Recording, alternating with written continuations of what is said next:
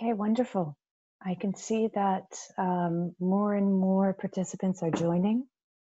So I propose that we start the café. Donc bonjour et bienvenue à tous.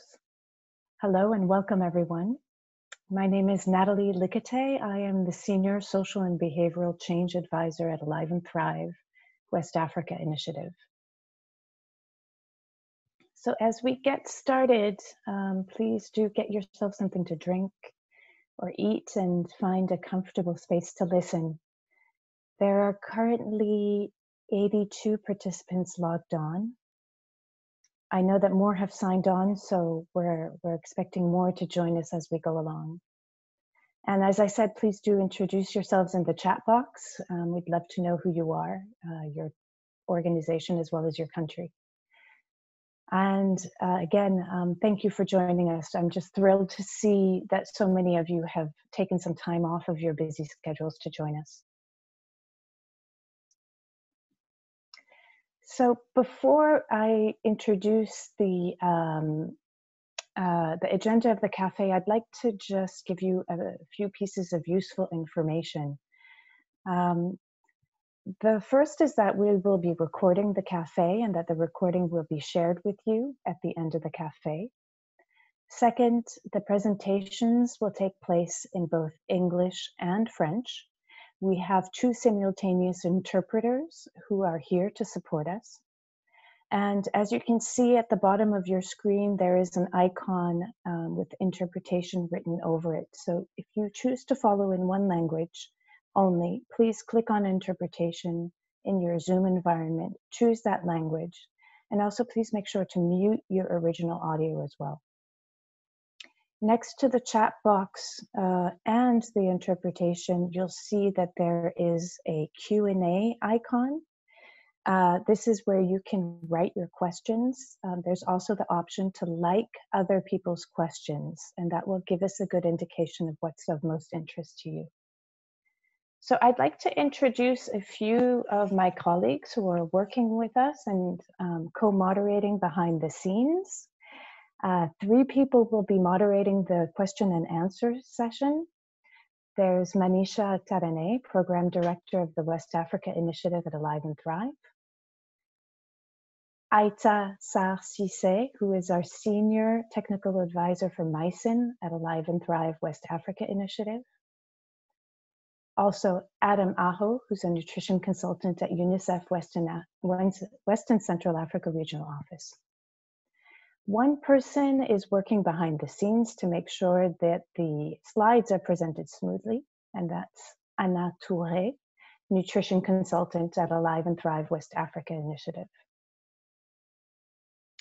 So, you know, we've called this a virtual reunion, a cafe, to provide a more informal setting to learn and exchange. Um, this is the first time that we're organizing it in this way, so um, please do give us your feedback. Um, we'd really like to learn from our experience and know how much you know you liked this cafe or how much what we could improve on it. And again, um, a quick reminder, if you have just come on board, please do take a moment to introduce yourselves. Tell us your name, where you're from, your organization. Thank you so much. So let me remind you of the objectives of the cafe. It seeks to answer two main questions. The first question is, what is the Stronger with Breast Milk Only initiative? And how can it contribute to improving and maintaining recommended breastfeeding practices in the region, including during the COVID 19 pandemic? The second question it seeks to answer is what strategies have countries put in place to ensure continuity of and strengthen breastfeeding services, particularly during COVID 19? And what lessons learned can be shared for countries that are planning to launch the initiative? The cafe is co-organized by WHO, UNICEF, and Alive and Thrive. We have an exciting agenda ahead. So we'll start with a presentation on the Stronger with Breast Milk Only initiative by Anne-Sophie Ledin, nutrition specialist from UNICEF Western Central Africa Regional Office. Following this, Dr. Antoinette Valiant Tuguma, nutrition focal point at WHO, will talk about breastfeeding in the context of COVID 19 and the role the Stronger with Breast Milk Only initiative can play. Then we'll move on to two presentations from colleagues who lead national nutrition programs in Burkina Faso and Ghana. Estelle Bombara, Director of Nutrition of the, at the Burkina Faso Ministry of Health, and Essie Omwafo, Deputy Director of the Nutrition Department of Ghana Health Services. Both will share their experiences and lessons learned in launching national Stronger with Breast Milk Only initiatives in their countries. You'll have a chance to ask questions and discuss straight after. And before we close the cafe, Anne Sophie will come and walk us through a recently launched breastmilkonly.org website that supports the Stronger with Breast Milk Only initiative. At the at very end, I'll invite you again to answer the survey questions I talked about earlier. So again, just a quick reminder, please write your questions and viewpoints in English or French in the Q&A area at the bottom of your Zoom environment. As you saw in the agenda, there'll also be time to um, address some of these questions. So without further ado, I'm delighted to introduce our first speaker, whom I will ask if she can to activate her screen for just a moment. Thank you very much, Anne-Sophie, and welcome. It's my pleasure to invite Anne-Sophie Ledin, nutrition specialist at the West, UNICEF Western Central Africa Regional Office, who will be talking to us about the Stronger with Breast Only initiative. Thank you. Merci beaucoup, euh, Nathalie, et salutations à l'ensemble des participants. J'espère que vous m'entendez tous euh, bien. J'ai le plaisir de vous parler aujourd'hui de l'initiative Plus fort avec le lait maternel uniquement, comme Nathalie a pu l'introduire euh, juste à l'instant. Vous avez peut-être déjà entendu parler de cette initiative hein, qui encourage l'allaitement maternel exclusif des nourrissons à la demande, jour et nuit, et l'arrêt de la pratique consistant à donner de l'eau, d'autres liquides, d'autres aliments de la naissance jusqu'aux six premiers mois de la vie. Nous allons voir ensemble que cette initiative vise à ce que tous les pays d'Afrique de l'Ouest et du Centre, et même peut-être au-delà, atteignent l'objectif mondial de 50% d'allaitement maternel exclusif chez les enfants de moins de six mois d'ici à 2025. Atteindre cet objectif au niveau mondial demande une mobilisation à tous les niveaux, comme on le sait, au niveau régional, au niveau national et au niveau sous-national. Nous devons donc faire plus et mieux ensemble et c'est la raison pour laquelle nous sommes réunis aujourd'hui. Nous allons échanger sur le contexte de cette initiative, ses objectifs, les stratégies utilisées pour sa mise en œuvre et l'avancement des actions au niveau de la région. Ce devoir de faire mieux et encore plus pour l'allaitement est bien sûr motivé et justifié par les multiples vertus de l'allaitement maternel. Comme nous le savons, les mille premiers jours de la vie sont une formidable fenêtre d'opportunité pour offrir à chaque enfant le meilleur départ. Et à ce titre, nous le savons, des pratiques optimales d'allaitement ont de nombreux avantages. Je vais ici en citer certains, des avantages à court terme pour le nourrisson et la mère, en contribuant à la survie du nourrisson, en les protégeant contre les maladies courantes telles que la pneumonie, les diarrhées, en favorisant le lien entre la mère et le bébé et protégeant contre le stress, en facilitant le rétablissement de la mère après l'accouchement, en réduisant les risques de cancer du sein, de l'ovaire, de diabète de type 2, de dépression postpartum, pour n'en citer que certains. L'allaitement favorise aussi le bien-être des familles. Il a aussi des avantages économiques à long terme pour les familles, les communautés et les nations.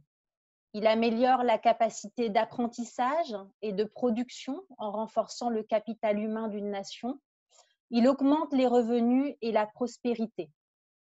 L'allaitement est un excellent retour sur l'investissement une analyse de la Banque mondiale que certains d'entre vous ont certainement déjà euh, eu à, lire a montré que chaque dollar investi dans le soutien à l'allaitement maternel génère un retour économique de 35 dollars américains. Et malgré tous ces avantages, la situation demeure inquiétante dans la sous-région. Seuls 11 pays sur 24 pays de la région Afrique de l'Ouest et du Centre sont en bonne voie pour atteindre l'objectif de 50% d'allaitement exclusif d'ici à 2025. Vous conviendrez avec moi que c'est beaucoup trop peu et que nous devons mieux faire. Donc, en regardant de plus près les données, on se rend compte que en Afrique de l'Ouest et du Centre, sur 10 nourrissons allaités âgés de moins de 6 mois, 7 reçoivent des liquides et autres aliments et la plupart reçoivent de l'eau ce qui fait de l'eau l'obstacle numéro un à l'allaitement maternel exclusif dans la région. Et il en résulte, que seuls trois enfants sur 10 sont exclusivement allaités jusqu'à l'âge de 6 mois.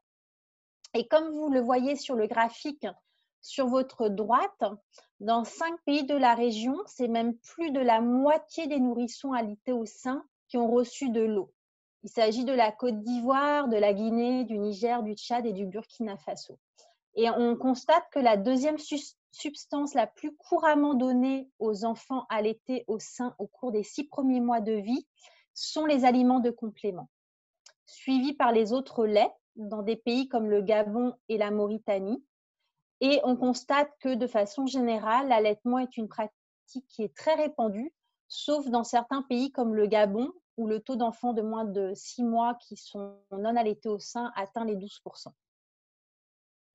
Au regard de ce constat, UNICEF, avec euh, Live and Strive et OMS, ont joint leurs efforts pour développer une initiative de plaidoyer et de changement social et de comportement qui vise à contribuer à changer la façon dont nous travaillons au niveau régional et au niveau des pays et qui vise aussi à intensifier et mieux cibler nos actions pour adresser cet obstacle numéro un à l'allaitement et de façon plus générale, bien sûr, protéger, supporter et promouvoir des pratiques optimales d'allaitement dans la région.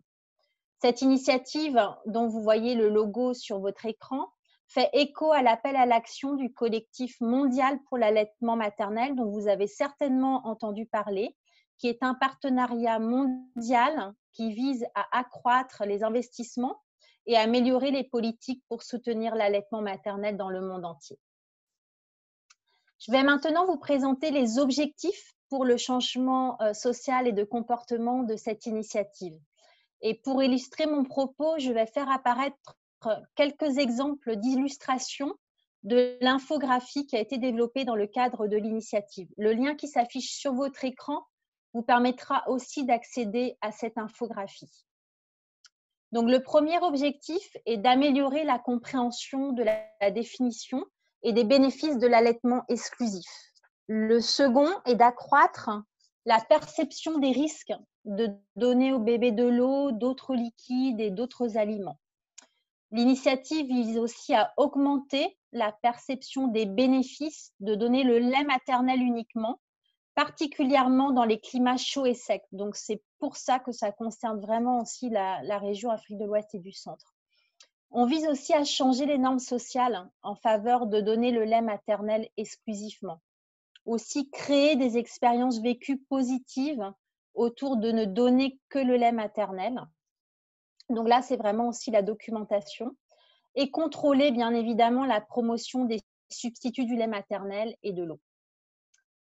Donc cette initiative vise à catalyser les politiques, mais aussi le dialogue social, le dialogue communautaire et familial et le changement de comportement en vue de donner aux nourrissons de moins de six mois uniquement du lait maternel. Je vais maintenant vous présenter les stratégies pour que nous voyions ensemble plus clairement comment le faire concrètement et comment agir sur le, sur le terrain. Pour cela, il nous faudra agir à plusieurs niveaux.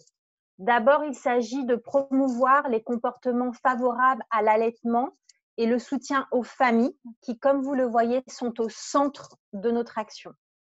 Il s'agit aussi d'engager les systèmes communautaires, de renforcer les normes et les pratiques du système de soins de santé, hein, qui est capital, bien évidemment, d'engager les entreprises, le secteur privé dans cette action, d'améliorer la perception du public et l'environnement social et de renforcer les environnements nationaux et réglementaires.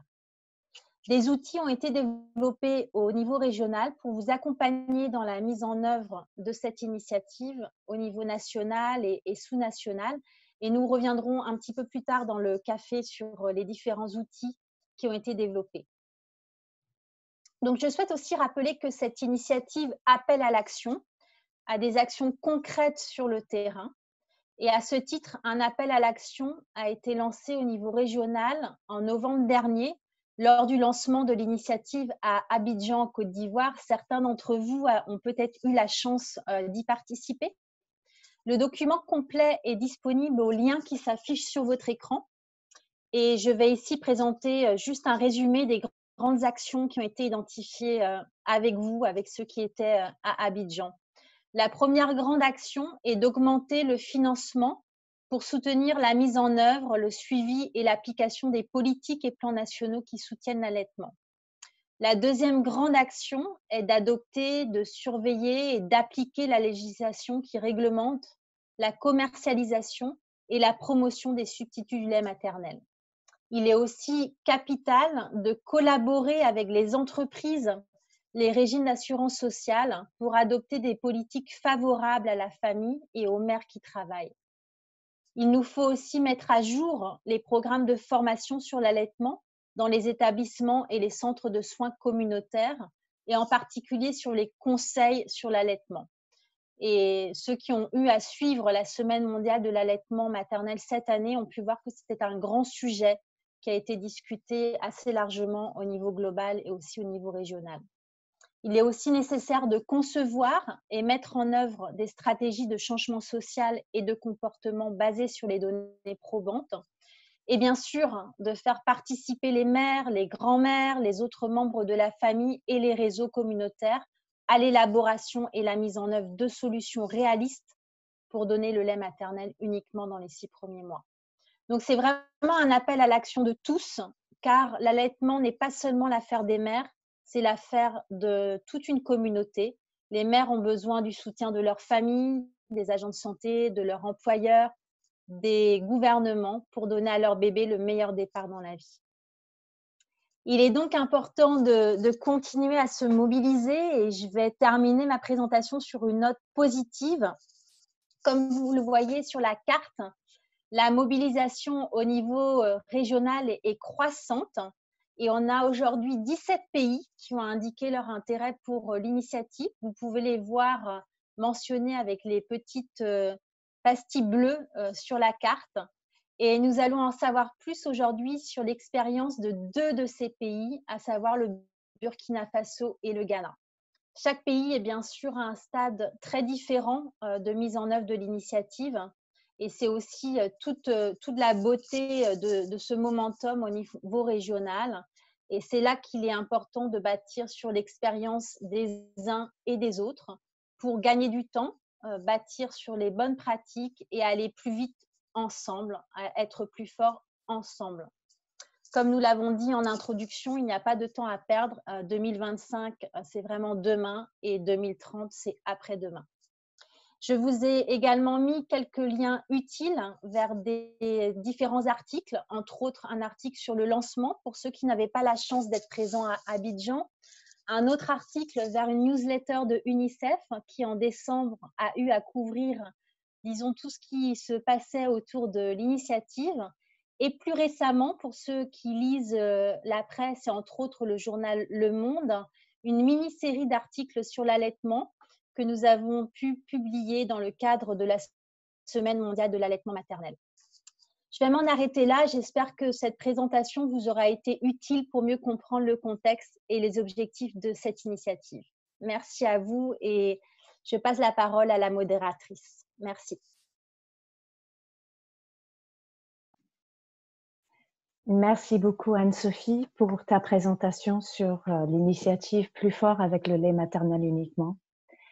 Donc, euh, on va passer à la deuxième présentatrice et cela me fait très plaisir d'introduire maintenant euh, la prochaine présentatrice qui va parler en français également. Donc, euh, je ne sais pas si Antoinette va pouvoir mettre son, sa vidéo. mais si elle peut, ça serait très bien. Autrement, vous la voyez ici sur la photo.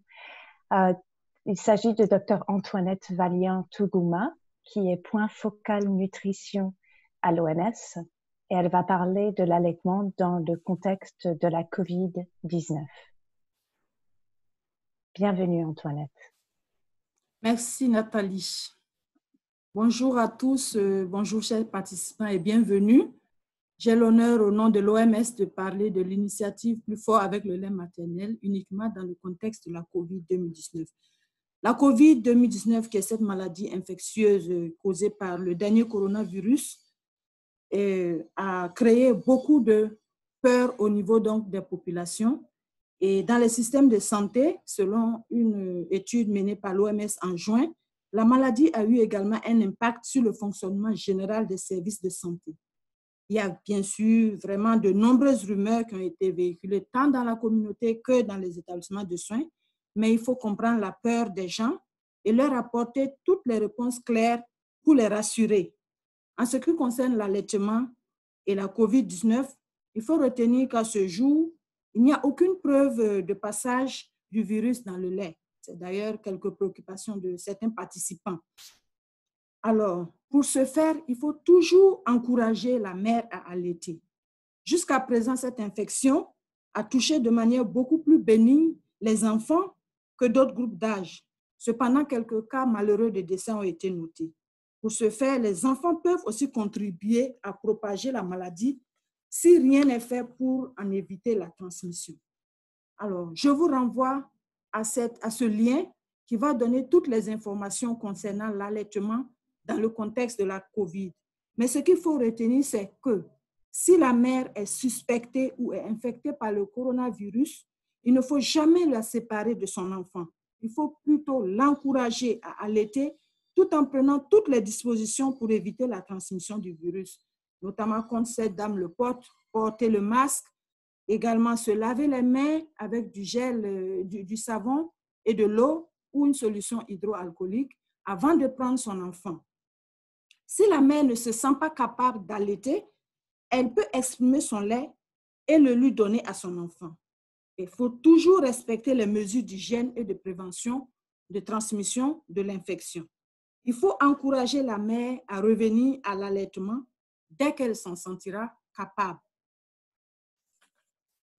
Alors, je vais vous parler, comme ma ma celle qui m'a précédé l'a dit, de l'avantage de cette initiative.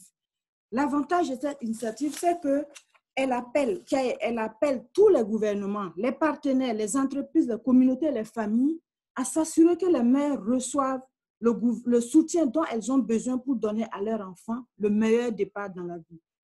Pour ce faire, les gouvernements sont invités à mettre tout en œuvre pour la promotion et la pratique de l'allaitement à travers l'adoption des mesures juridiques fortes par la mise en œuvre du Code de, commercialisation de subsides de lait maternel. Ce code a été élaboré en 1981 par l'Assemblée générale de l'Organisation mondiale de la santé en étroite collaboration avec les États membres et autres parties concernées. Ce code et un certain nombre de résolutions ultérieures de l'Assemblée mondiale de la santé recommandent des restrictions à la commercialisation des substituts de lait maternel, tels que les préparations pour nourrissons, afin d'assurer que les mères ne sont pas dissuadées de l'allaitement maternel et que des substituts sont utilisés en toute sécurité si nécessaire. Malheureusement, lorsqu'on regarde le rapport 2020 de ce code, on voit que jusqu'à trois pays seulement, seulement trois pays ont le code qui prennent en compte les résolutions de 2016 qui sont les plus récentes. C'est le Tchad qui a eu son code en 2019, le Nigeria en 2019 et l'Égypte en 2018. Les pays qui ont des dispositions réglementaires complètes vis-à-vis de ce code, il n'y a que 9, 9 seulement sur 47 pays. Alors que au niveau donc du collectif, dont ma prédécesseur a parlé tout à l'heure, l'objectif en 2030, c'est que 40% de ces pays-là aient les dispositions réglementaires complètes. Il y a plus grave, il y a jusqu'à 34% de ces pays qui ne disposent même pas de code.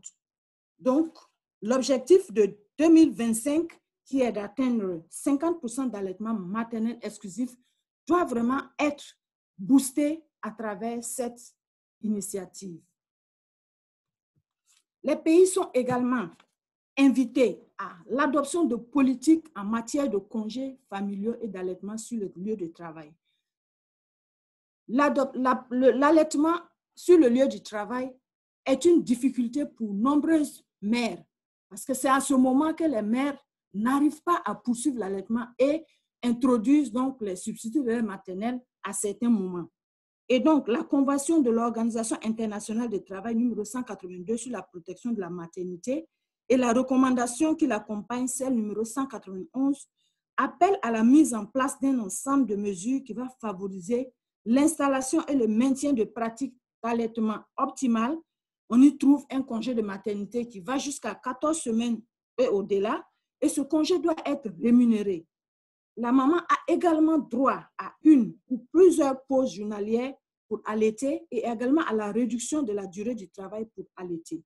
Il y a également obligation de mettre en place des espaces aménagés au lieu du travail ou à proximité. Tout cela pour aider les mères à allaiter leurs enfants jusqu'à deux ans. Les pays sont également invités à travers les maternités à mettre en œuvre les 10 étapes pour réussir l'allaitement. Et elles passent par des procédures de gestion critique qui disent que toutes les maternités doivent se conformer pleinement au code de commercialisation des substituts de lait maternel. Elles doivent également adopter une politique d'allaitement maternel formulée, écrite, systématiquement portée à la connaissance des parents et de tous les agents de ces, maternités il doit également avoir des systèmes de surveillance continue et de gestion des données. Il faudrait également veiller à ce que le personnel possède des connaissances, compétences et aptitudes nécessaires pour assurer un soutien à l'allaitement. Ces maternités sont également obligées de mettre en pratique des éléments essentiels qui sont les agents de santé devraient parler avec les femmes enceintes et leurs familles sur l'importance de l'allaitement et de sa pratique, ces agents-là doivent également favoriser le contact peau à peau immédiatement lorsque l'enfant est né et également encourager les mères à commencer l'allaitement dès que possible. Ces agents doivent aider les mères à commencer à maintenir l'allaitement et à gérer les difficultés les plus fréquentes. Il faut tout faire pour que les mères ne donnent pas d'aliments ou de l'eau c'est d'ailleurs l'objectif de cette, cette initiative qui est seulement de donner le lait, mais pas d'autre chose. Les agents devraient laisser les enfants avec leur mère dans la même chambre 24 heures sur 24, aider les mères à reconnaître les signaux de faim de leur nouveau-né et à y répondre. Il faut également conseiller les mères sur l'utilisation et les risques des biberons, tétines et sucettes. J'insiste sur cela parce que ce n'est pas pas interdit, mais il faut leur donner toutes les informations sur l'utilisation de ces éléments que je viens de citer. Il faudra, avant la sortie de la mère de l'hôpital, que toutes les informations lui soient données afin qu'elle puisse toujours bénéficier de l'assistance en matière d'allaitement. Alors, quand on regarde, en 2017, il n'y a eu seulement que 17% des naissances dans ces hôpitaux, dans ces installations amies des bébés. Alors, vous convenez avec moi que 86% des enfants qui vont naître hors de ces maternités ne bénéficieront pas de tous ces conseils pour vraiment un, allaitement optimal. Il y a lieu donc de faire quelque chose et donc cette initiative en est l'occasion. L'objectif du collectif est qu'au moins 40% des naissances aient lieu dans les maternités. Le challenge est là, mais tout est possible. Alors, je partage avec vous cette belle image de cette belle dame avec son bébé. Vous voyez le regard pour vous dire simplement que allaiter est un vrai geste d'amour. Il n'y a pas vraiment plus vrai geste d'amour entre une mère et son enfant que d'allaiter. Alors, je termine ma, ma, ma, ma présentation avec euh, cette image de la semaine mondiale de l'allaitement maternel qui prenne en compte donc la situation actuelle, c'est-à-dire la situation de la pandémie à coronavirus 2019. Je vous remercie et je vous recommande d'aller sur le lien pour vraiment prendre toutes les informations nécessaires et qui vont vous aider pour comprendre tout ce qui se fait, tout ce qui se dit en matière d'allaitement dans le contexte de la maladie à coronavirus. Je passe la parole à Nathalie et je vous remercie pour votre attention. Un grand merci Antoinette euh, pour euh, ta présentation qui souligne l'importance des mesures juridiques, des politiques et des procédures qui euh, soutiennent et protègent l'allaitement, particulièrement l'allaitement exclusif.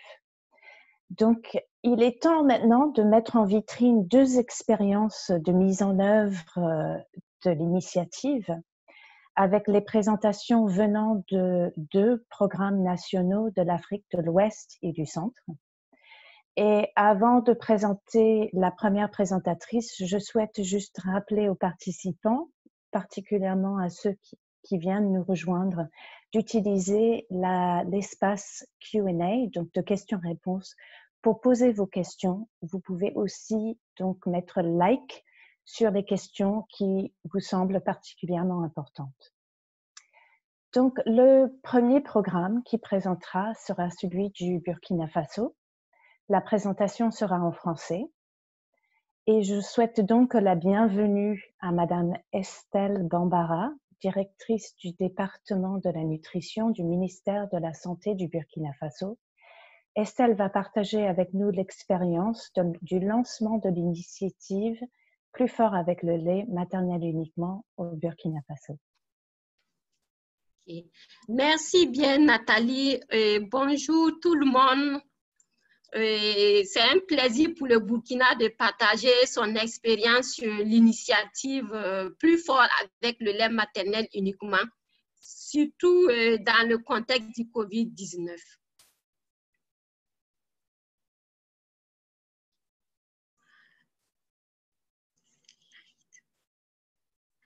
Il faut dire que le Burkina a enregistré ses premiers cas de COVID euh, au cours du mois de mars 2020.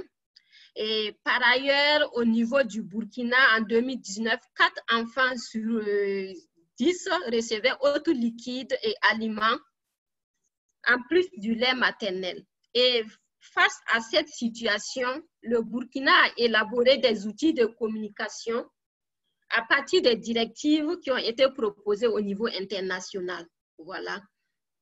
Et, c'est notamment euh, les programmes de l'âge en situation de COVID, et, ce qui va nous permettre d'atteindre les objectifs qu'on s'est fixés pour euh, euh, l'initiative plus forte avec le lait maternel. Donc, c'est d'aller de 59,6% à, à 65% en 2021 et aller également voir plus loin l'atteinte des objectifs du plan de passage à l'échelle des pratiques optimum d'âge, d'alimentation du nourrisson et du jeune enfant d'ici 2025 à 80 Et là, il faut dire que euh, euh, la, baisse du don de l'eau au niveau du Burkina, on observe une baisse du don de l'eau, mais cette baisse-là est, vraiment lente contrairement aux autres euh, aliments et liquides où vraiment euh, la baisse est, vraiment rapide.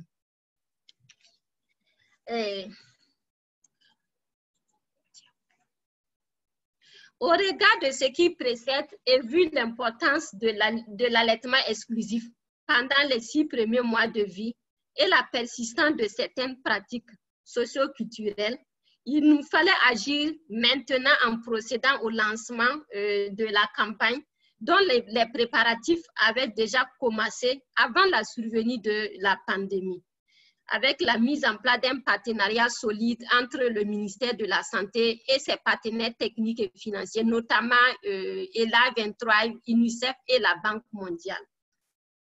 Et vu le contexte, le pays a opté pour un lancement light avec une faible participation de personnes, maximum 50 participants, voilà, pour le respect des mesures barrières et indirectes sur les réseaux sociaux et sur Zoom en présence des différents médias. Et ce lancement a eu lieu le 29 juin avec transmission, comme je l'ai dit, simultanée à l'étranger, sous la présidence de Madame le ministre de la Santé qui est au centre au niveau de l'image que vous voyez. Et le parrainage du champion national pour euh, la nutrition, le Lale Naba Tigré, qui est le champion national pour la nutrition. Et elle avait à ses côtés également le maire de la commune qui a abrité la cérémonie de lancement et la représentante de l'UNICEF et celle de l'OMS.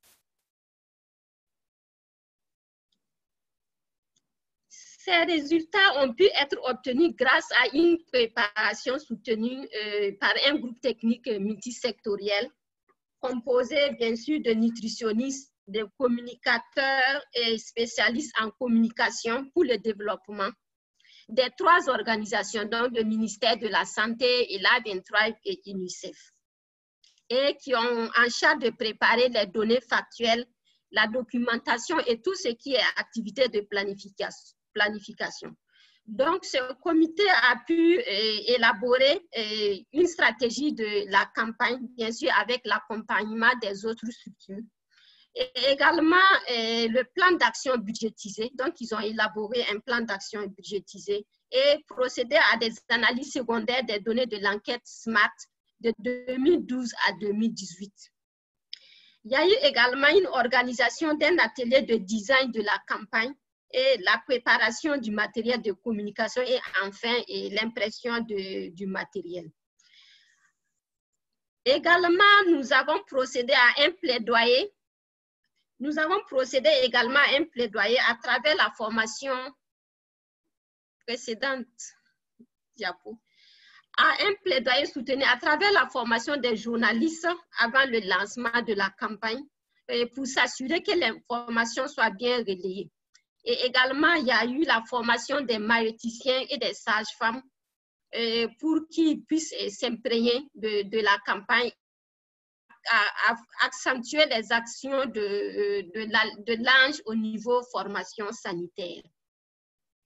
Il y a également euh, la campagne multimédia au niveau des réseaux sociaux. Il y a moyens de femmes allaitantes, des vidéos qu'on a pu concevoir également et des gadgets et également des affichages au niveau urbain dans les 13 régions que compte le Burkina.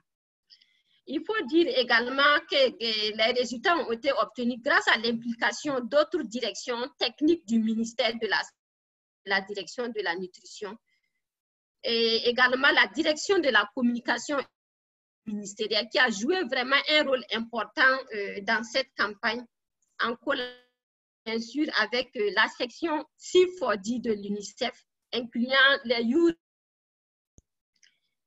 pour la communication externe et également ça qui ont finalisé les messages des visuels, des vidéos et l'organisation du LAN.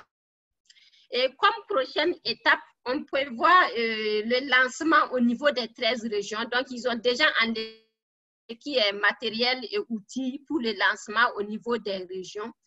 On prévoit également le renforcement des capacités de 780 agents de santé et 1000 1120 agents de santé à base communautaire sur la communication euh, pour les et l'allaitement exclusif.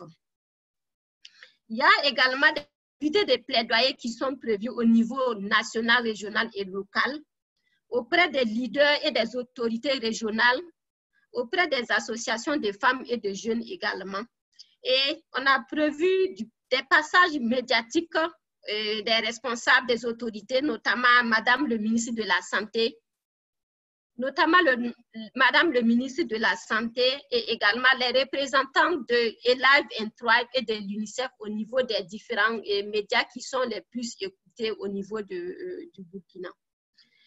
On prévoit également la validation du matériel pour la communication, pour le changement de comportement social et également à travers les quatre conseils et des sports. Et également, il y a une caravane de presse qui est prévue, voilà, dans deux régions du Burkina.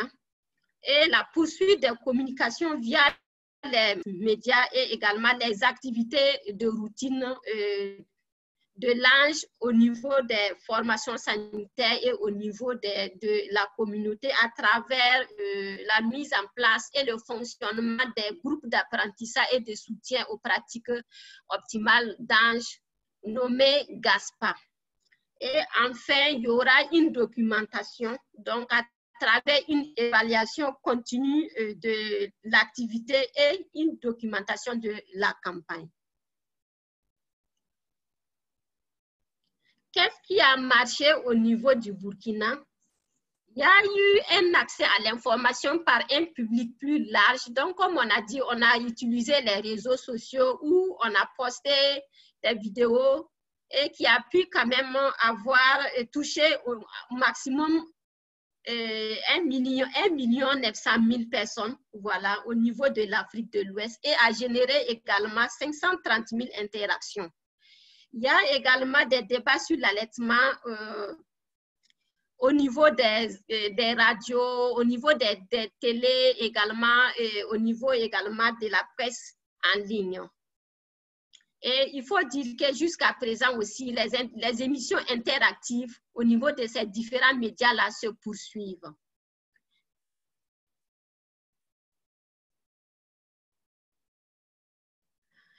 Quelles sont les leçons apprises? Donc, les principales leçons apprises jusqu'ici sont la nécessité d'une bonne planification, comme je l'ai dit, voilà, il faut une bonne anticipation également. Donc, dans notre expérience, cela se traduit par une élaboration de planification détaillée à, chaque étape. La préparation des thèmes de référence de toutes les activités en avance. Et ça doit se discuter à l'intérieur du comité et valider également à l'intérieur du comité. Et ça permet également de voir eh, les coûts des différentes activités et également le gap voilà. Et voir qu'est-ce qu'il faut faire pour combler ces gaps. Il y a également l'importance de la collaboration avec les acteurs qui sont impliqués à tous les niveaux. Donc, d'abord, entre les trois entités, donc UNICEF et l'A23 et puis le ministère de la Santé. Et ensuite, tous les partenaires. Donc, on a impliqué aussi tous les partenaires, notamment, vous avez vu que le l'ALENABA, qui est le champion national pour la nutrition, a été impliqué et les autres agences des, Nations Unies, notamment le PAM, l'OMS, et les ONG qui évoluent euh, dans euh, la promotion de l'alimentation de nourrissons et du jeune enfant au niveau de notre pays. Je vais citer APEP, IFAN et, et les autres. Il y a également l'utilisation d'une approche multicanale pour la diffusion du message, pour le changement social et de comportement dans les grandes villes où les activités communautaires sont plus difficiles à mettre en œuvre. Donc, on utilise les flyers, les émissions interactives, les affichages urbains, les spots et les diffusions en ligne de contenu. Tandis qu'au niveau des, zones rurales, les ASBC sont mis à contribution pour la communication interpersonnelle vers les personnes à travers les GASPA, donc les groupes d'apprentissage et de suivi des pratiques optimales d'âge, les dialogues communautaires et les visites à domicile. Il y a également que les formations sanitaires euh, sont le lieu d'une communication appropriée vers les personnes en recherche de soins, voilà, et à travers l'affichage de messages et des images et le conseil personnalisé de qualité diffusé par les personnels de, santé. Euh, c'est un peu ramasser euh, l'expérience du Burkina euh, au lancement de la campagne plus fort avec le lait maternel. Merci vraiment pour le Burkina de partager son expérience. Merci à tous. Je remets la parole à Nathalie. Merci. Merci beaucoup Estelle et merci pour ce beau partage de l'expérience du Burkina Faso euh, et de tous les préparatifs euh, du lancement de la campagne, de l'initiative Plus fort avec le lait maternel uniquement. Beaucoup de travail est rentré dedans et je pense que ça a été fait avec succès. Euh, alors, je vais passer maintenant à, à l'anglais. Um, I'm going to speak in English now, um, and we're now going to move from Burkina Faso to a coastal country to hear about uh, Ghana's experience. This presentation will be conducted in English, and it's my pleasure to introduce Ms. AC Umwaful, Deputy Director of the Nutrition Department of Ghana Health Services. AC, I don't know if you can put your video on for just a moment so that we can see you. If that's possible, you're most welcome to. So, Ghana has recently launched a campaign to promote infant and young child feeding in the country, which includes Stronger with Breast Milk Only. Over to you, AC.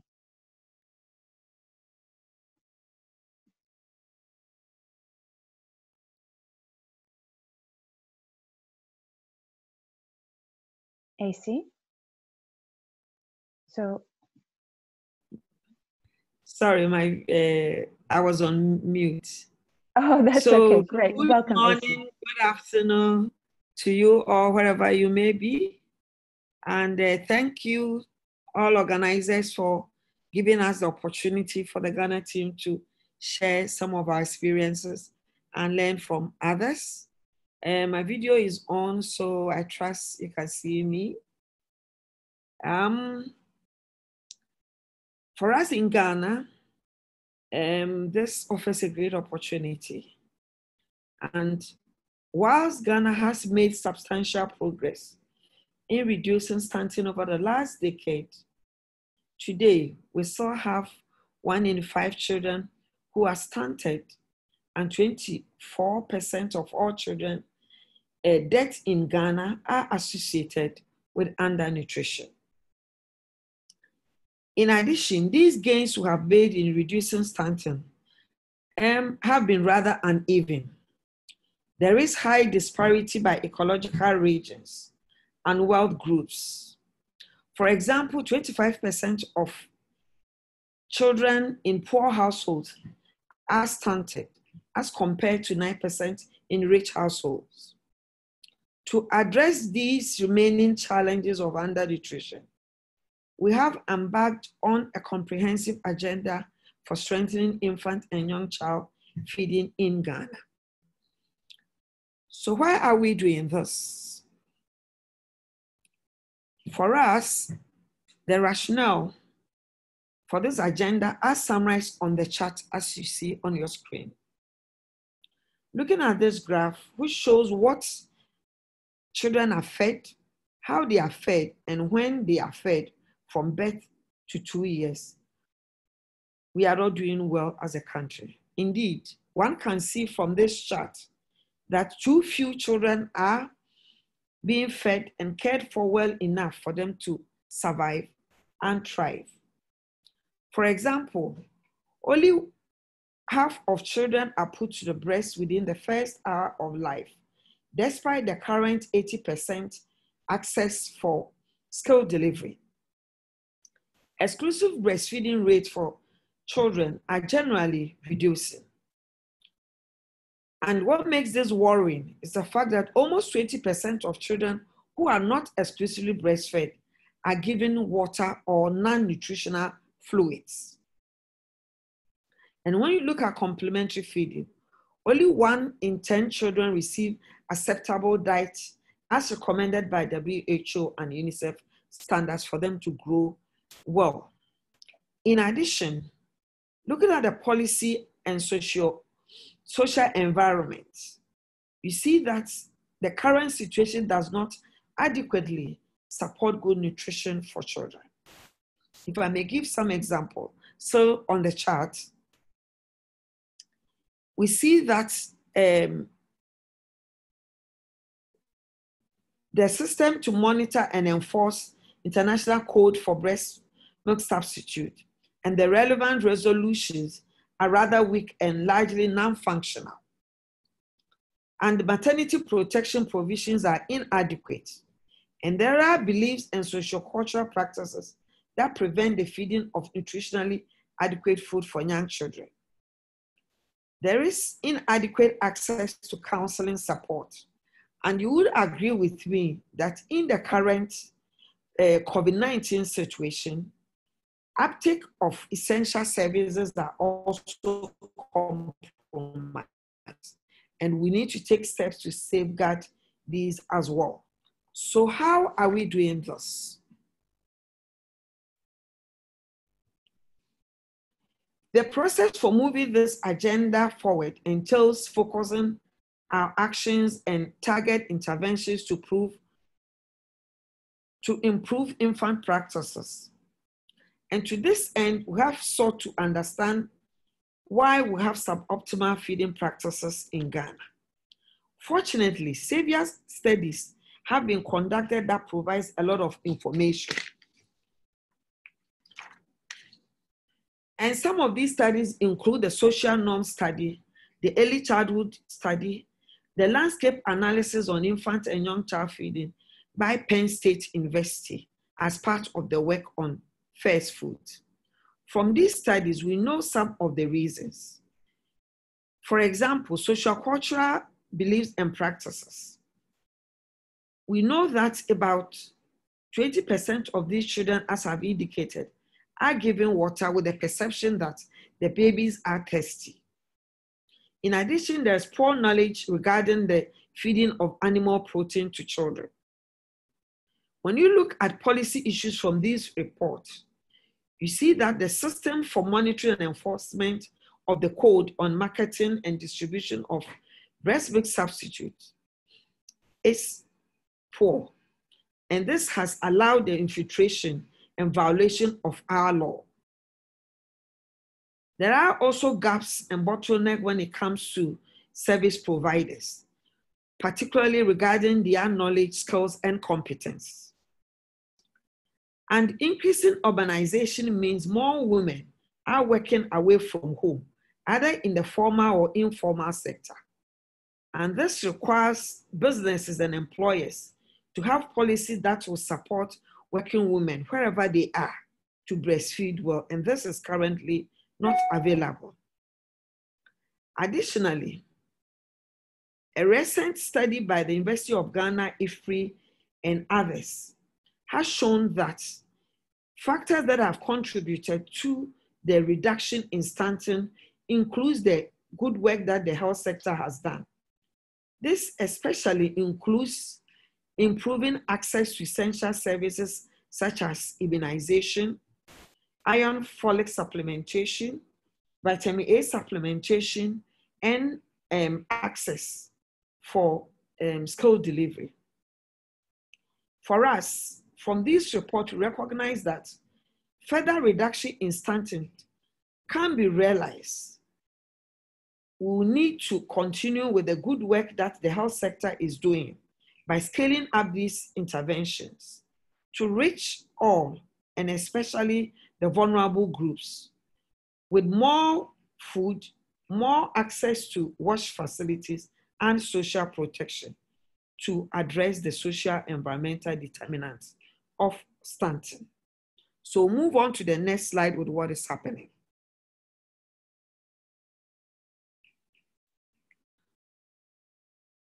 So building on the West and Central African Regional Initiative for Stronger with Breast Milk campaign and First Food Project, we have started a year-long campaign themed Start Right, Feed Right from birth to two years. And this will be rolled throughout the 16 administrative regions of the country. The campaign is led by the Ministry of Health and the Ghana Health Service and is supported by UNICEF and WHO. And this was launched by Her Excellency, the First Lady of the Republic of Ghana, as part of the 2020 World Breastfeeding Week celebration. The campaign seeks to improve exclusive breastfeeding and promote good nutrition for children in Ghana.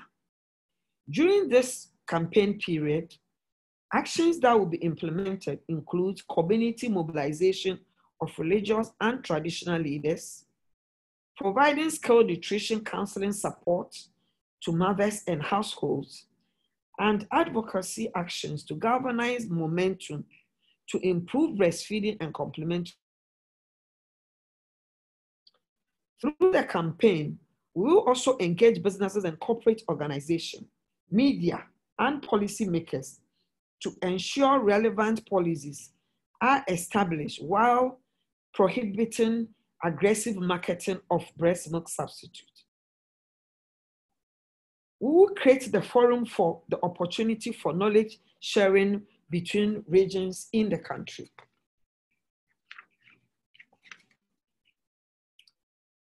For the campaign, our objectives include increased eh, awareness of government leaders and policymakers, businesses, program managers, health workers, families, communities on the importance of optimal infant and young child practices and the role that each of these groups need to play if we are to achieve this objective an increase and sustained media interest in infant and young child feeding over one year period, and advocate for the implementation and enforcement of Code on Breast Milk Substitute and Maternity Protection Act. The expectation, colleagues, is that in the long term, the campaign will contribute to increase in early initiation of breastfeeding from the current 52% to 80% by 2025. Increase in exclusive breastfeeding at six months from the dropped rate of 43% to 60%. Increase the percentage of minimum acceptable diets being given to children from the current 13% to at least 30%. And it will also lead to the full implementation of the code, as well as the um, relevant WHO resolutions through strong legal measures that are enforced and monitored, as well as focusing on changes that need to be made regarding paid maternity leave and workplace baby friendly policies and actions. So, what is next on our agenda? Following the national launch, there will be regional launches in all the 16 regions starting from September. And this is going to be done in a staggered fashion so that the interest and the momentum will be sustained over a long period and ultimately create an environment that supports breastfeeding and complementary, optimum complementary feeding being normal or the norm in most households. So, for specific activities, will strengthen social behavior change communication that is targeting the different groups in society through radio jingles, TV discussion, and community action networks. We'll engage the media on a sustainable basis, use webinars, and train health workers and support private businesses to create environment for women to breastfeed. We'll also engage policymakers in the different sectors, particularly those in nutrition sensitive sectors such as looking at the food system, wash and social protection. We'll learn from other countries on the Stronger with Breast Milk campaign and also lessons from the existing baby friendly experiences that we have had to strengthen the health system to be ready for all these changes. In order for this to be sustained, and considering that we have a very high antenatal coverage and uh, also a high postnatal coverage, we will continue to mental health service provided to be ready to support women as they come into contact.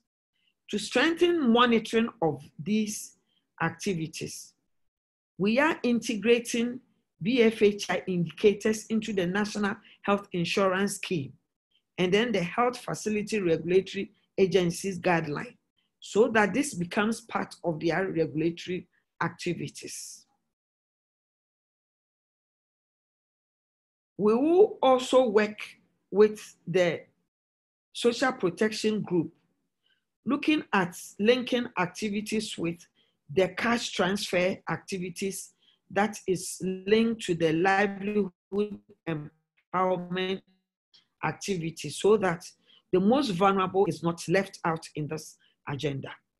We will look at stimulating actions to increase the provision of and marketing of quality fortified foods or provide micronutrient powder to supplement um, the complementary foods that are fed to children. Ladies and gentlemen, what are our lessons? For us, we will be learning as we do because a lot of the things are new, others are things that we have done and want to improve on. So, specifically, some of the early learnings that we have include the need to understand the context specific bottlenecks to optimal infant and young child feeding practices so that actions are specific and targeted. We are also learning that it is critical to make feeding and caring of young children a business of all stakeholders and not just the mother. And this will be the basis of some of the advocacy drive and the engagement of the community. And this is guided by the recognition that and pushing the agenda that for infant and young child feeding to be successful, it has to be a shared vision and responsibility for every policymaker, every health service provider, every employer, and every business, and indeed every community and every family. And it is important to work together across sectors and engage all stakeholders to learn together.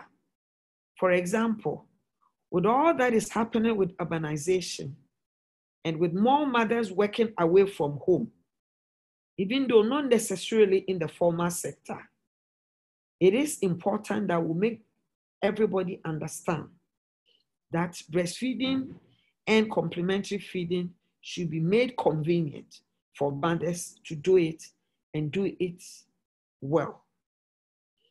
And we are picking lessons from the COVID 19 and health situation. And this will also be brought to bear on the implementation. I thank you very much for your kind attention.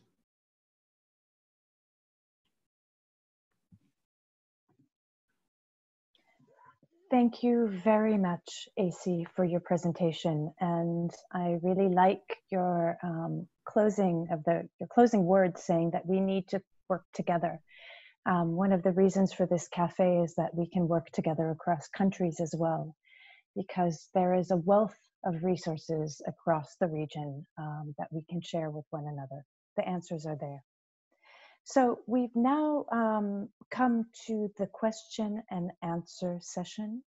Um, and we have some time to share some of the questions that you have asked in writing before uh, the start of this cafe. I'd like to acknowledge that before uh, the cafe began, we had already begun to receive some questions from participants. Um, we hope that some of these questions have been um, answered. Um, so these are the questions we received in advance. How do countries officially launch the Stronger with Breast Milk Only initiative in the context of COVID 19? We hope that the experiences from Burkina Faso and Ghana have given you um, some elements or the answer to this question. Second question is in French. Comment assurer une bonne alimentation de la mère pour un allaitement réussi? So this question refers to maternal nutrition. Um, and I think uh, this question was also asked in the live question and answer section. So we perhaps this is something that we could address. Um, maternal nutrition is indeed a very important part of uh, good breastfeeding practices, recommended breastfeeding practices, and should not be ignored.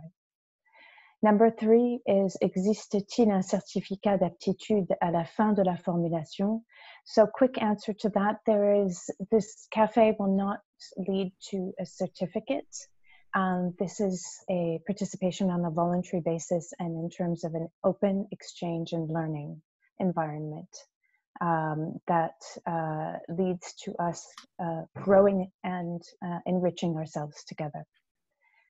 Le, question numéro 4, le lait maternel véhicule-t-il la COVID-19?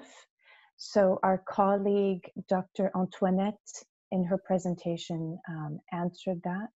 There is no evidence that the COVID-19 virus is present in breast milk. The WHO, UNICEF, and global recommendations are to continue following recommended breastfeeding practices, even at the time of COVID 19, following specific um, um, guidelines um, to ensure the safety and security of mother and baby.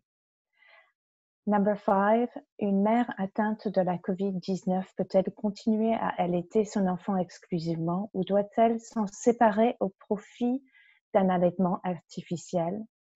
Étant donné qu'on dit que les enfants peuvent être porteurs sains, son enfant ne peut-il pas constituer un risque pour les autres membres de la famille?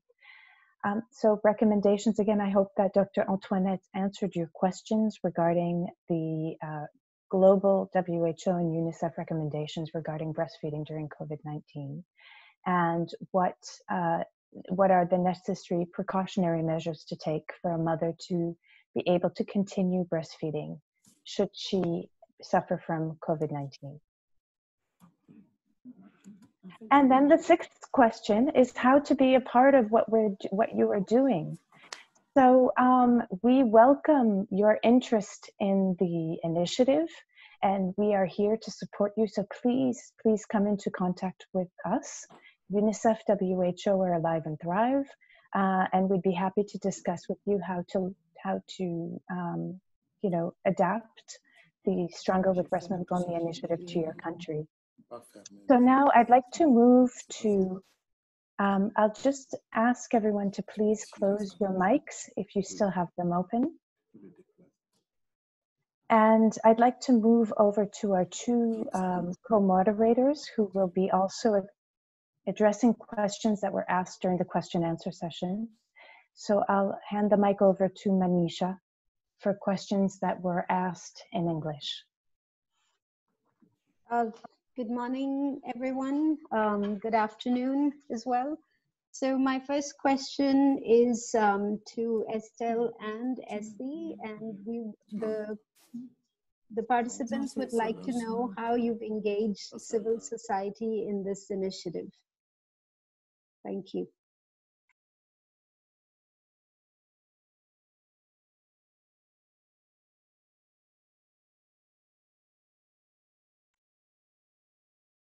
Etsy, maybe you can start. Mm. Hello. Yes, we can hear you. Hello. Hello, can you hear me? Yes, yes so the question is um, engagement of civil society.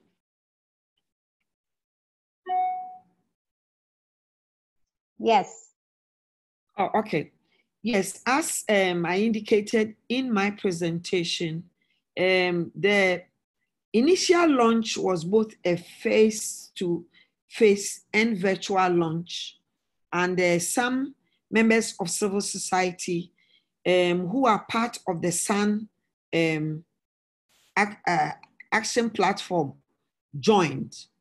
In the coming months, um, as I explained, as we launch in the various regions, members of civil society, including traditional leaders and um, faith-based organization, will be part of the launch as well as the follow-up activities.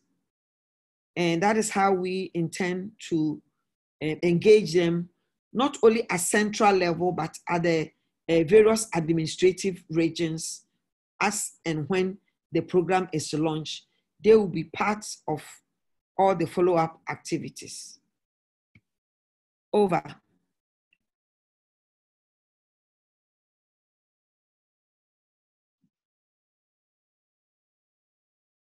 Thank you very much, AC. So Manisha, I think that question was also um, addressed to Estelle, is that correct?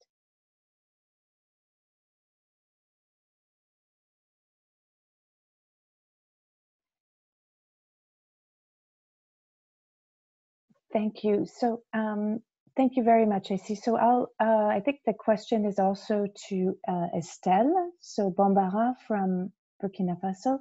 Estelle, la question est également adressée au Burkina Faso de savoir comment est-ce que euh, l'initiative Plus fort avec le lait maternel uniquement engage les organisations de société civile?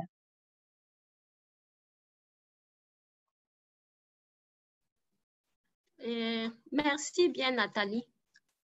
Il faut dire que les organisations de la société civile également ont été impliquées euh, dans le lancement euh, de, cette campagne et à travers le réseau NUT, voilà, le réseau de la société civile pour la nutrition, qui font un grand plaidoyer au niveau du Burkina, voilà, pour les questions de nutrition.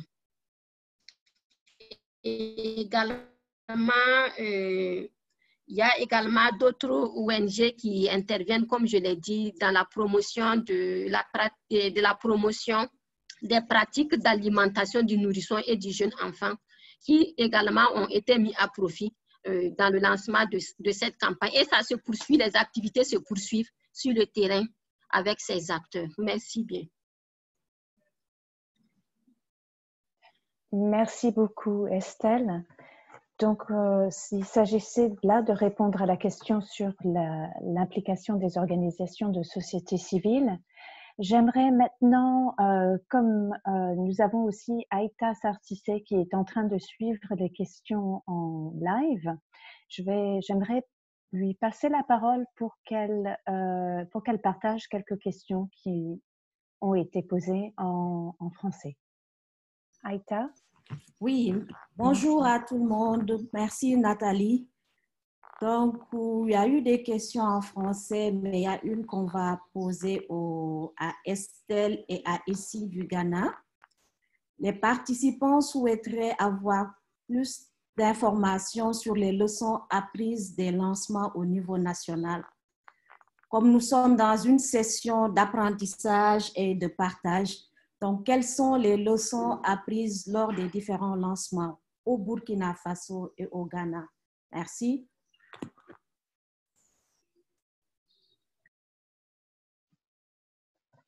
Merci bien, Aïta. Je vais commencer.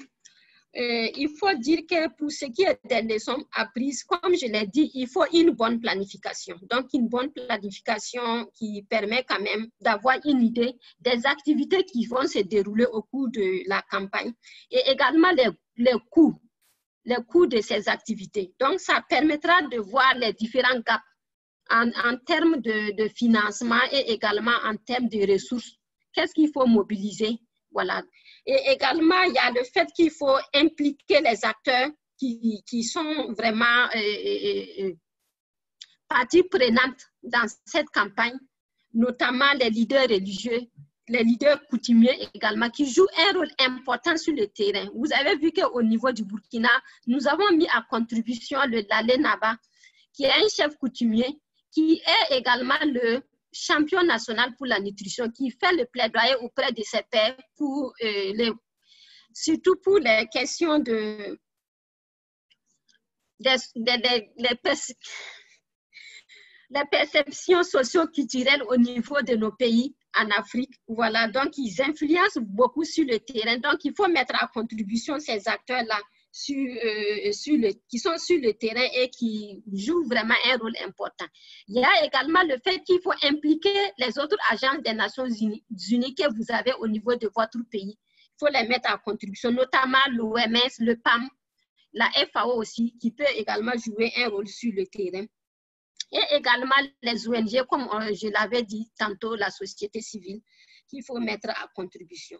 Maintenant, pour ce qui est des, des, canaux qu'il faut utiliser, il faut étudier comme je l'ai dit, en milieu urbain, il y a des, des messages qui peuvent passer et, et, dans le milieu rural, il y a des messages aussi qui peuvent bien passer. Notamment en milieu urbain, le volet communautaire ne passe pas forcément. Donc, il faut mettre à contribution les flyers, les émissions interactives au niveau des, des radios, des télés et également des affichages urbains. Donc, comme on l'a dit, au niveau du Burkina, les 13 régions, les grands centres urbains, là, nous avons fait des affichages urbains, voilà, et également des sports en ligne. On utilise aussi les réseaux sociaux. Maintenant, pour ce qui est du milieu rural, comme là-bas, pour faire passer le message, on utilise le monde communautaire, notamment nos, nos, agents de santé à base communautaire qui animent au niveau des groupes d'apprentissage et de suivi des pratiques optimales d'âge au niveau communautaire. Donc, qui est en tout cas, ils vont être des relais au niveau communautaire et également les chefs coutumiers et les chefs euh, religieux qui sont sur le terrain, qui peuvent également euh, être utiles dans la sensibilisation.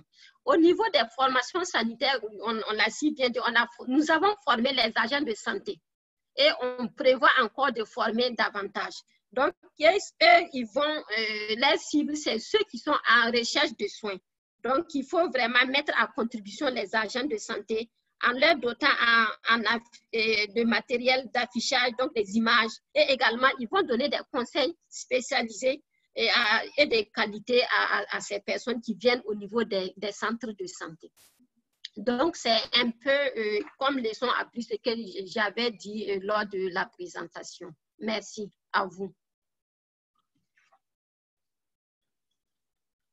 Merci beaucoup, Estelle.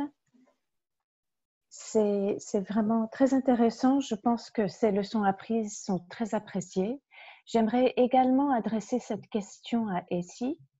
Um, Essie, um, the question is what yes. uh, what lessons learned can you share yeah, hello. with participants? Please, um, over to you.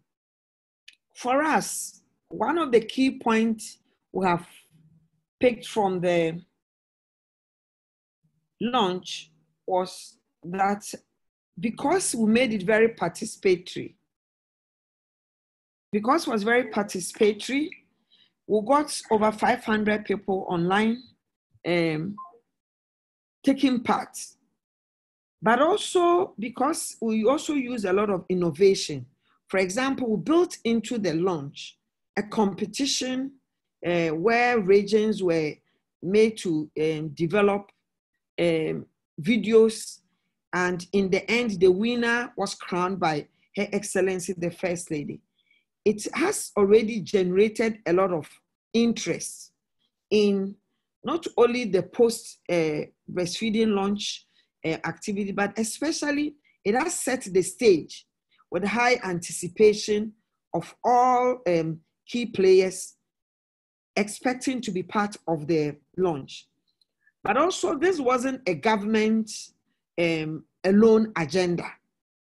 Um, our key donors were part of the planning, each stage of the planning and design of this campaign has been very participatory.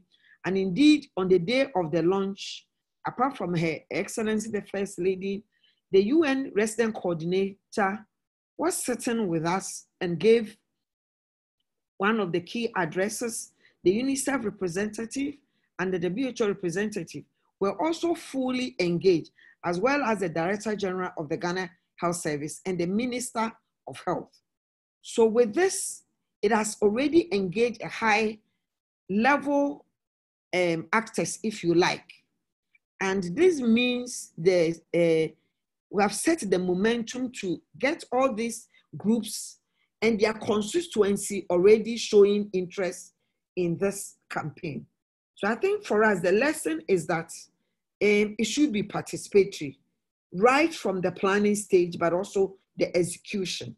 And moving on, we are going to roll it out in the same um, way. And we believe that um, it will take us far.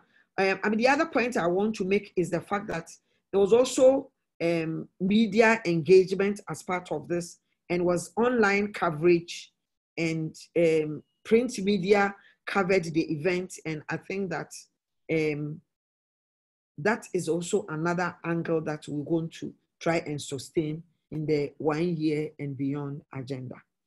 Thank you. Over. Thank you very much, AC, and thank you, merci Estelle. Thank you both for your answers to these questions. Um, we are running a little bit behind, so I'd like to suggest uh, that we move to the next part of this cafe. Um, knowing that all of your questions have been noted, and please also know that we will be sharing the answers to your questions in writing, um, along with the recording of this webinar, of this cafe, and additional information. So, um, one piece of information that we're receiving from some of you is your interest in participating in the Stronger with Breast Milk Only initiative.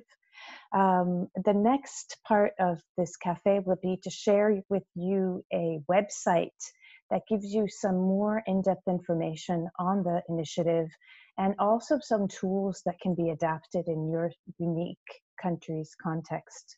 So I'll hand um, the presentation over to Anne-Sophie Dedin, who will be taking us on a virtual tour of this website.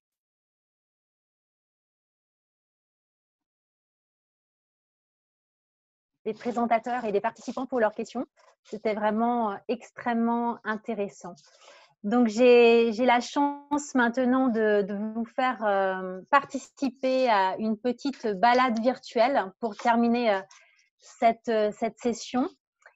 Et, donc, pour vous faire découvrir le site de l'initiative Plus fort avec le lait maternel uniquement, dont l'adresse figure sur vos écrans. Comme vous le savez peut-être, le site a été lancé il y a quelques jours à l'occasion de la semaine de l'allaitement maternel. Voici la page d'accueil qui permet d'accéder directement à des informations clés sur l'initiative. Les différents onglets qui s'affichent en haut à droite vous permettent de naviguer dans le site. Vous voyez qu'il y a aussi la possibilité d'accéder au site dans sa version française. Donc, si vous poursuivez votre exploration de la page principale ou alors que vous cliquez sur l'onglet Initiative, vous y trouverez des messages et des informations clés. Vous en voyez certaines sur votre écran actuellement. Mais il y a aussi des, outils qui peuvent vous être très utiles, comme le disait la modératrice, dans la mise en œuvre de vos programmes. Il y a par exemple une vidéo et un podcast sur l'initiative que je vous invite à, regarder et à écouter. Le site a également un onglet qu'on appelle Actualité et vous y trouverez beaucoup d'informations. Par exemple, un message de bienvenue de Alive and Thrive, OMS et UNICEF, mais aussi un article sur le lancement de l'initiative qui a eu lieu en Côte d'Ivoire en novembre dernier. On en a parlé tout à l'heure mais également un lien vers des informations sur l'allaitement pendant le Covid-19, hein, si vous voulez en savoir plus, un lien vers des informations sur la semaine de l'allaitement et beaucoup d'autres choses. Et nous espérons aussi bientôt poster de nouveaux articles sur les activités que vous avez menées pendant la semaine de l'allaitement. Et entre autres sur les expériences du Ghana, du Burkina Faso, mais aussi de d'autres pays euh, par exemple le Liberia. Nous venons d'apprendre qu'ils sont en train de lancer euh, à ce moment même leur, euh, leur initiative plus fort avec le lait maternel uniquement. Il y a aussi un onglet outils qui vous permet d'accéder aux principaux outils qui ont été développés jusqu'à présent au niveau régional. Vous voyez qu'il y a par exemple quatre notes de plaidoyer. Il y a aussi deux fiches d'information une infographie, un jingle. Il y a également le call to action dont je vous ai parlé en introduction. Il y a aussi des cartes conseils, un spot euh, radio et euh, tous, ces, tous ces outils, cartes conseils, spot radio seront très utiles pour vous accompagner dans vos efforts de communication pour le changement de comportement sur le terrain. Et ces outils seront bientôt postés sur le site. Comme le disait la modératrice, ces outils sont, euh, sont vraiment faits pour être adaptés dans vos contextes respectifs. Ce qui a été fait au niveau régional, c'est vraiment cette idée de vous donner des outils prêts à l'emploi. mais bien évidemment, ils devront être adaptés à vos, contextes respectifs au niveau national et aussi au niveau sous-national. Ces outils sont également tous disponibles déjà en version anglaise. Nous espérons vraiment que vous allez apprécier ce, site euh, Internet. C'est vraiment un outil euh, participatif. Euh, il est fait pour évoluer. Et sur ce, nous vous encourageons bien évidemment à documenter, à partager vos outils, à partager les informations sur vos actions pour que nous puissions leur apporter de la visibilité sur le site et pour que toutes vos actions puissent servir à l'ensemble des pays de la région et même peut-être au-delà. Donc sur ce, je ne vais pas être très longue parce qu'on est déjà en dehors du temps, mais je vous souhaite euh, bah, une bonne navigation et surtout n'hésitez pas à, nous contacter en cas de questions ou aussi à nous faire des suggestions pour améliorer le site et faire en sorte que euh, ce soit vraiment un outil euh, collectif qui nous facilite la vie et qui permette d'apporter une belle visibilité à, notre initiative conjointe. Merci à tous. Merci Anne-Sophie. Uh, and just to iterate, please do go and visit the website and give us your feedback um, on how we can improve it. So just a few closing remarks before we say goodbye for now, um, as we're over by a few minutes. First of all, um, Adam has just posted a link to a survey on this cafe um, and to gain uh, just some understanding on your interest in us organizing more cafes such as this one. It's just five minutes maximum of your time. If you could kindly take those five minutes and give us your um, feedback, we are delighted to receive it. Secondly, we'd like to, I'd like to remind you that the recording as well as the slides in English and French will be shared with you shortly, as will um, a document with the questions and answers that have been shared during this cafe. And all of the above will be posted on the breastmilkonly.org website. So Thanks to everyone for participating in the cafe. Merci à tous d'avoir participé à ce café. On behalf of the team, it's been a pleasure to have you all. And please don't hesitate to reach out to us for more information on the Stronger with Breast Milk Only initiative and how it can be adapted to your country's unique situation. Um, I wish you all a wonderful afternoon and rest of the week. Um, thanks again, and I'll say bye for now. Merci encore. Je vous souhaite à tous une bonne après-midi et à bientôt, nous espérons.